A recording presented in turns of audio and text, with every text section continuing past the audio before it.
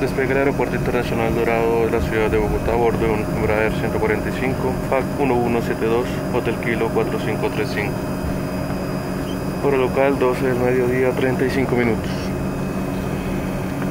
Preparación en cadena, preparación para el despegue.